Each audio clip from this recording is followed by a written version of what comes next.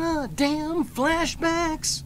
Guess again, sunshine. There was a time back in the PlayStation 2 and original Xbox era when a lot of sequels were what kids today would call just a bunch of DLC stuck together. And that's basically what we've got with Destroy All Humans 2 Reprobed. A loyal, graphically updated remake of a 2006 sequel that goes to new locations, adds a handful of new weapons and enemy types, revamps the upgrade system, and extends the story.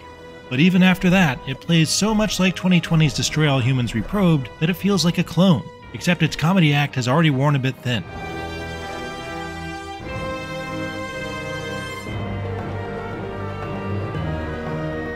Bearing that in mind, I have pretty much the same praise and the same complaints about the quality of this remake.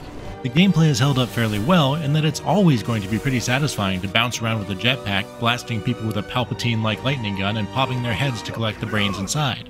Cartoony character models and 4K textures look respectable when making out details like Crypto's pointy little teeth. The dynamic lighting effects are a nice touch. It's the animations and lip syncing that seem behind the times. You sure you heard right? These stiff movements and strange gesticulations remind me of a world before motion capture animation became the norm. Everyone looks like an action figure.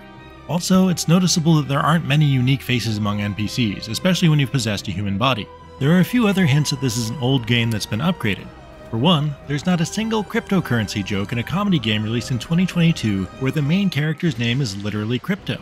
But even more telling than that, when you arrive on the Japan map, you'll hear some prolific voice actors like Yuri Lowenthal and Steve Blum playing some Japanese caricatures they would probably wince at today. Third code is in my briefcase, which was stolen by Black Ninja and taken back to their base. Oh, so that's what this warning at startup was talking about. Skipping ahead 10 years after the first game to 1969, Crypto's new enemies are buffoonish Soviet KGB agents who have discovered the Furon presence on Earth. Joining him are his old boss Pox, who I can't not love thanks to his being voiced by Invader Zim's hilariously shouty Richard Horvitz. And then there's hypersexualized KGB defector Natalia, who is there largely to inspire a constant barrage of sleazy jokes from Crypto. Absolutely nothing is taken seriously, but that doesn't stop Destroy All Humans 2 from spending a lot longer on dialogue than its humor justifies. Listening to an alien imitating Jack Nicholson riff at length on hippies' fashion sense, call a Soviet Ivan for the umpteenth time, or rattle off pickup lines wasn't exactly cutting edge comedy back in 2006, much less today. Mm, you still think I'm sexy, right? Mercifully, you can skip most of it easily once you get tired of it. You realize the player's in the kitchen making nachos at this point, right? By modern open world standards, Destroy All Humans 5 modestly sized maps are bare bones in terms of interactivity and things you can do beyond destroying simple minded humans. They don't even have the abduction and rampage challenge missions the first game does. Local color comes from scanning the thoughts of pedestrians, which contains some of the best jokes you'll find. I do give it credit for letting us blow up nearly any building on maps based on San Francisco, London, Tokyo, Tunguska, and a secret base. And they're all largely bright and colorful playgrounds to blast enemies in. That fighting could be a bit more engaging though, I started out on the second highest difficulty and found myself feeling nearly invincible out of the gate. After remembering that I could simply fly away whenever I was in danger, I almost never died until about halfway through when tougher enemies show up, and even then, it was rare outside of boss fights. There are some mutators you can enable to make everything harder, or easier, or just give people big heads, but not until you've already beaten the mission for the first time and want to replay it. The main reason it's usually so easy is that the vast majority of fights are against human enemies, and even in large numbers, they simply don't stand a chance. And that's before you start upgrading your arsenal to more efficiently eradicate them. Even without a gun, you can launch them into low Earth orbit with your brain as quickly as you could zap them with a ray gun. Though nearly every encounter is trivial and the consequences of being spotted by the police are basically irrelevant.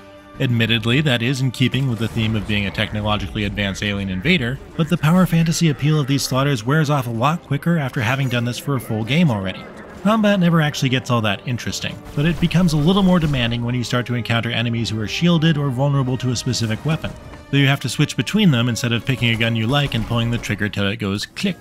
The new weapons don't actually do much to change things up. The dislocator disc amusingly bounces targets around randomly but isn't terribly efficient at killing them, and the others mostly amount to new area of effect attacks. By far my most used was Gastro, a summonable flying sidekick who shoots enemies for you. He's handy when the going gets tough. What saves missions from being almost entirely made up of scanning brains leading you to a simple firefight are the secondary objectives that pop up. Maybe you're prompted to use a specific weapon to kill some specific enemies, or avoid touching the ground while traveling across the city. A lot of these are mundane, but every so often there was something that changed up a straightforward objective and made me work a little bit to get a perfect score on the mission and get the maximum upgrade points. Also, mostly unchanged from the first game is the flying saucer gameplay, which is still not great. Aside from blowing things up in a straightforward shooting gallery, most of the other tasks it's used for are moving large objects from place to place or an inconvenient form of fast travel between unlocked landing zones. Also, every time you come to a new area, you're encouraged to unlock upgrades by flying around and hoovering up dozens of humans of various stripes, such as police or ninjas or KGB agents. Given how simple it is to deflect incoming missiles or obliterate targets on the ground, the only challenge here is searching the map for the specific kinds of humans you need. Once you find them, this becomes almost as dull as actual vacuuming. You could likely burn through the main missions fairly quickly, but I did every side mission I could find, which was quite a lot. Many of them revolve around converting people to your alien god worshipping cult and those generally have you impersonating humans to get a mission, usually killing other humans, after listening to an excessively long introduction that repeats the name Arkvoodle way too many times. Arkvoodle. Arkvoodle! Arkvoodle. Arkvoodle. Arkvoodle. Arkvoodle. So tell us, what does Arkvoodle listen to? These missions are certainly useful for feeding the expanded upgrading system. Each weapon now has six upgrades instead of three, but it was a little anticlimactic to find that all of this missionary work amounted to a new weapon unlock that didn't tie into the main story. Behold! Lastly, it's kind of a shame that Destroy All Humans 2 doesn't support online co op, but split screen is suitably retro and lets you and a friend double down on destruction. There's no friendly fire and you can't pick each other up, which limits opportunities for goofing on each other, but there are a few games out there that aren't improved by running around with a friend.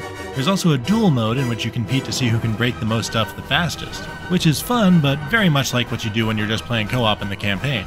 And there's a PK tennis game that is sort of like real tennis, but harder to control. I don't see that last one taking off, to be honest.